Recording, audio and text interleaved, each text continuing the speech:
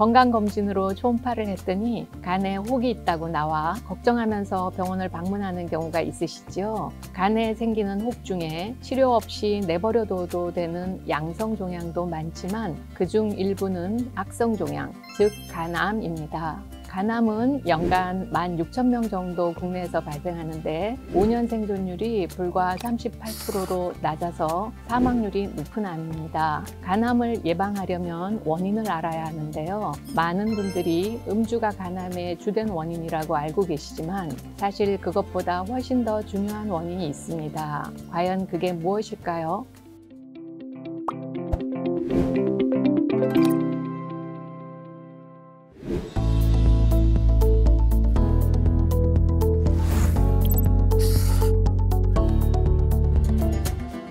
우리나라 국민에서 발생하는 전체 암의 5년 생존율은 71%입니다. 이에 비해 간암의 생존율은 절반 정도인 38%입니다.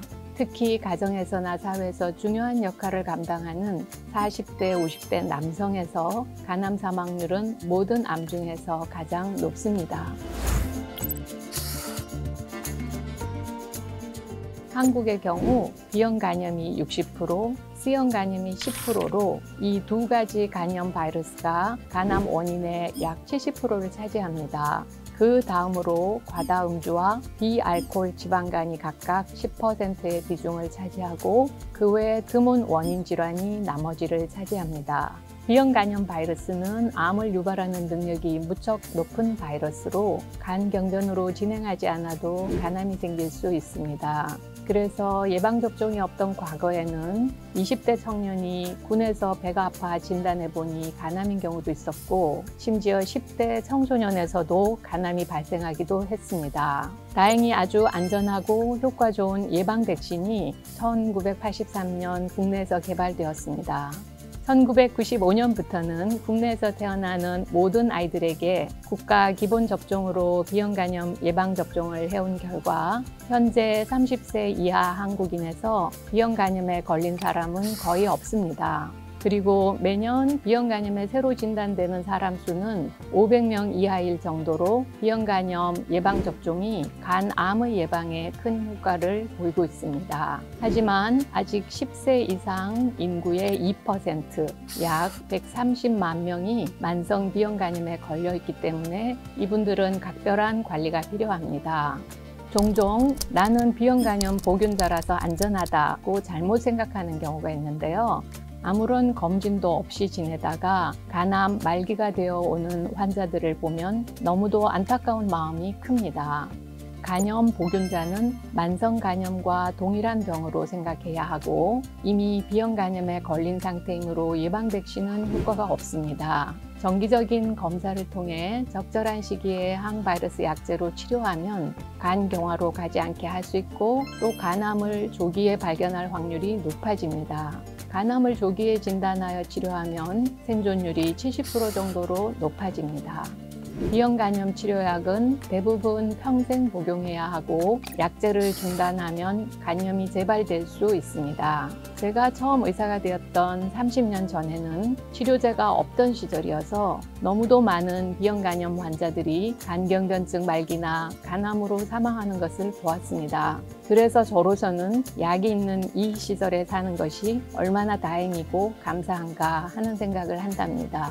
비형 간염에 걸리지 않았고 아직 항체가 없다면 당연히 예방접종을 하시는 것이 좋습니다. 특히 기저에 알코올 간 질환 등 이미 간이 안 좋은 분들은 반드시 비형 간염 접종을 하십시오. 비형 간염 바이러스 항체 검사나 예방 접종 여부는 가까운 병원에 가셔서 간단한 피검사로 확인하실 수 있고 총 3회의 예방 주사를 맞으면 95% 이상에서 항체가 생기고 평생 감염되지 않습니다.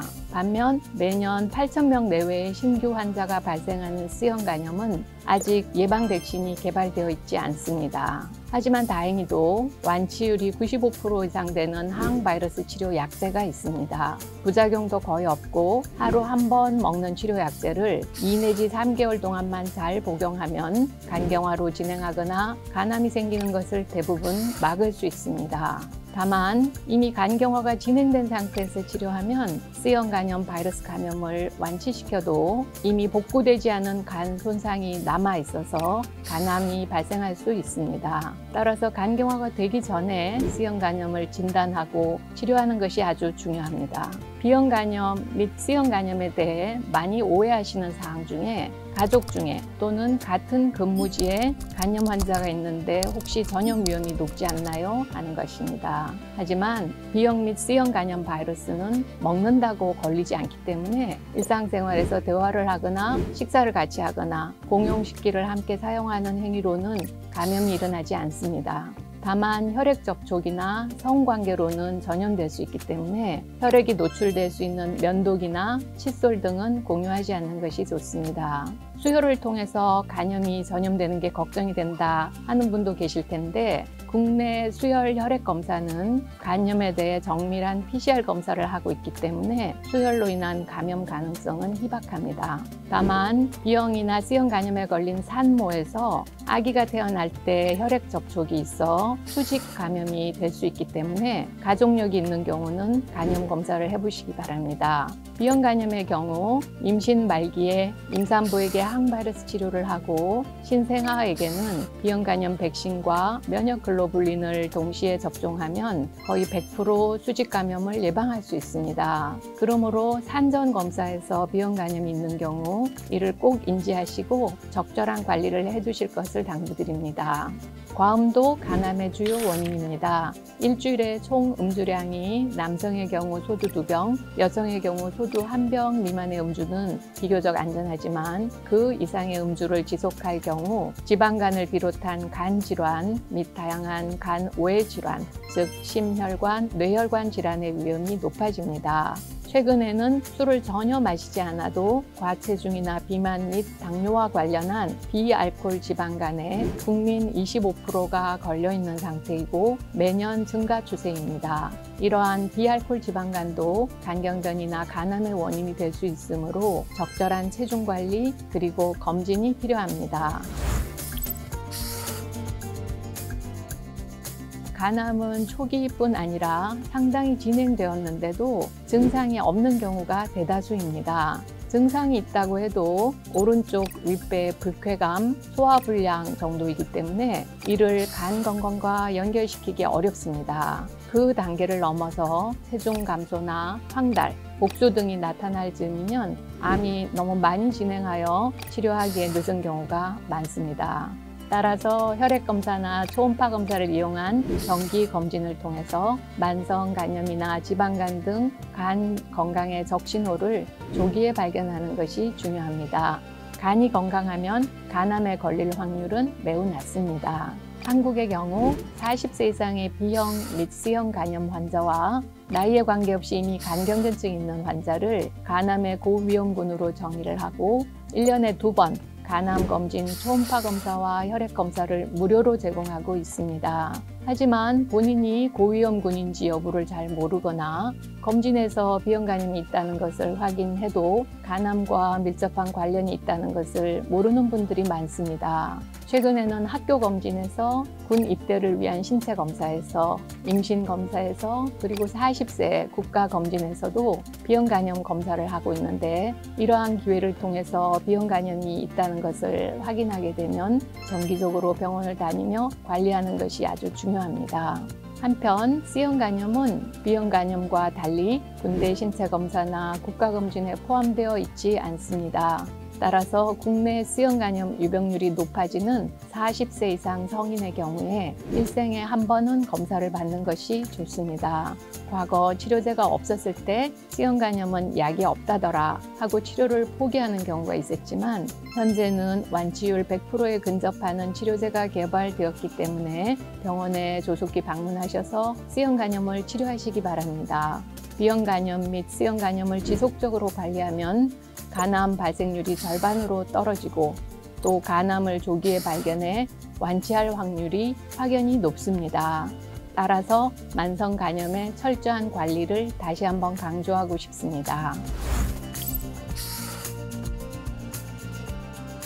간암의 치료는 암의 크기나 개수, 진행 범위뿐 아니라 기저의 간 상태가 좋은가, 간경변증이 심한가에 따라 결정됩니다. 기저 간 기능이 나쁘면 암이 조기에 발견되어도 완치율이 높은 수술적 치료를 적용할 수 없습니다. 완치를 기대할 수 있는 치료로는 간 절제 수술, 고주파나 극초단파를 이용한 국소열 치료술, 그리고 간 이식이 있습니다. 이러한 치료를 적용하기 어려운 경우는 경동맥 화학색전술이나 경동맥 방사선 색전술 등을 시도하고 방사선 치료도 시행할 수 있습니다. 그러나 간암의 병기가 많이 진행하면 전신 항암 치료로서 다양한 표적 치료제나 면역 치료제 등을 적절히 병합하여 사용하게 됩니다. 간암의 치료는 바이오로 눈부시게 발전하고 있습니다만 아직 간암은 무서운 암입니다. 간염 보균자는 안전하다는 인식을 버리시고요. 그리고 비형 및 C형 간염의 적절한 약물 치료와 정기적인 관리가 무엇보다 중요하다는 것을 꼭 기억해 주시면 좋겠습니다.